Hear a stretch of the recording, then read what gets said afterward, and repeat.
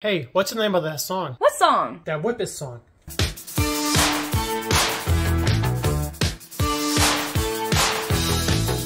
Correct and whip. Give the masses